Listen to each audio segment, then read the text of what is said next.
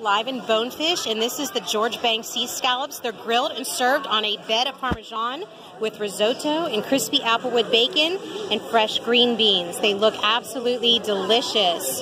And over here we have the Rockefeller Atlantic cobia that my husband started eating already. And that is another delicious new meal.